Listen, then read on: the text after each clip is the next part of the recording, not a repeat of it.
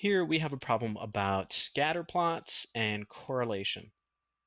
In case you haven't seen a scatter plot before, it's this type of graph where uh, each dot has two pieces of data about something. So in this case, the something is movies, and one piece of data is how much money it earned when it was at the theater. So uh, this movie right here earned 60 million when it was at the theater.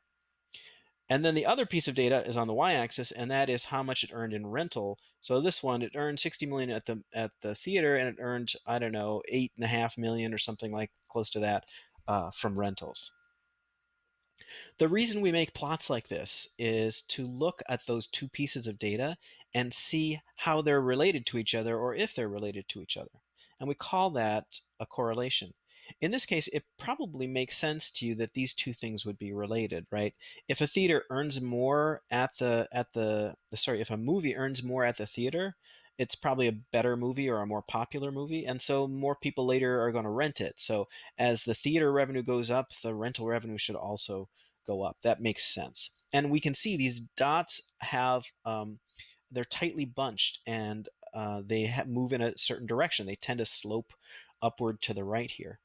We call that a positive correlation. Just like over here, this is another example of a, a scatter plot that shows a positive correlation. So even though these, these dots are kind of spread out into a little cloud, generally, as they go to the right, they go up.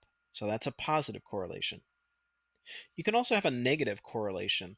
Uh, so as something on the x-axis gets bigger, the other thing on the y-axis gets smaller. So if you see a shape like that, that's a negative correlation.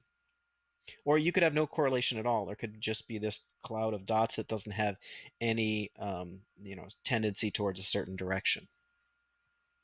One thing that mathematicians do is when they get a scatter plot that seems to have a correlation, they'll try to sketch in a line that represents the general direction. So they might draw a line like that, and they call that the line of best fits and then they can use that line to make predictions. Uh, you could stretch the line out further and make a prediction about um, if x is some value out here, what would the y value be?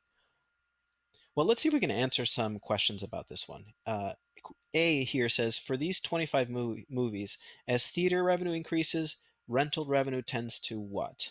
So the theater revenue is here. So increasing theater re revenue means going in this direction.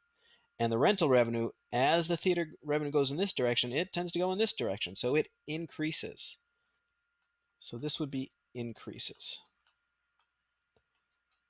All right. B says, for these 25 movies, there is blank correlation. They're looking for positive, negative, no correlation. And here we see this sloping upward uh, general tendency of the data. So that is a positive correlation.